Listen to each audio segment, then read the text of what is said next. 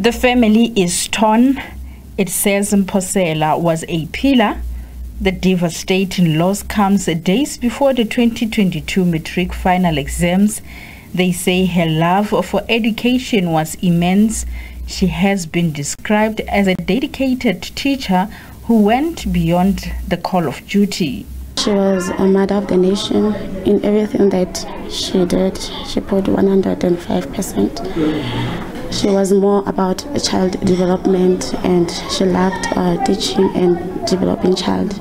Everything that she did, she did it out of love. The Department of Education says Mphosela, who was a physical and natural science teacher, has left a huge gap. It says it will be difficult to replace her with the current shortage of teachers in science subjects.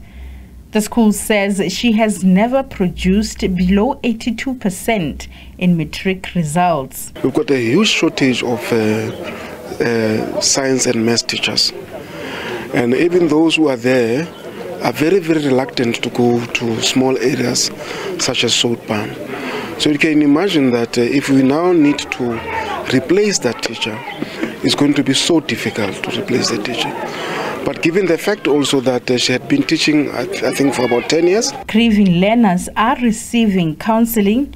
The department says more support will be provided to the school ahead of a final examination. Amahalaba in Botshabelo.